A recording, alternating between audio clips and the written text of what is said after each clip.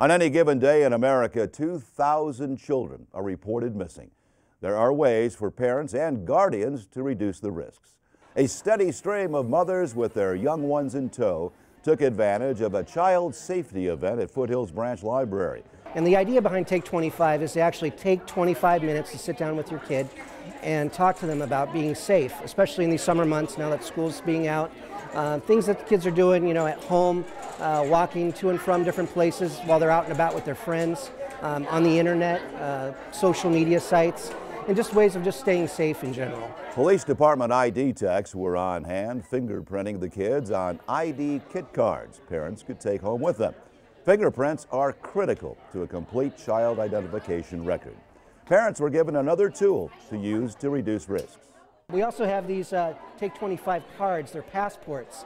And what they do is uh, allow the parents to put their personal information along with the child's information in there, and uh, they can stuff it in a pocket or, or safety pin it to some clothing.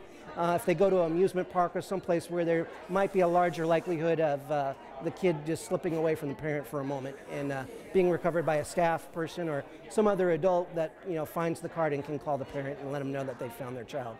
One Glendale mom said the cards give her a little added peace of mind. Yeah, I think it's great to have, especially we go to a lot of events where there's masses amounts of people, and so I'm always scared of losing my kids at those events. So I think this gives me a little safety, and the, the cards and the passports they have to um, just have some kind of security there.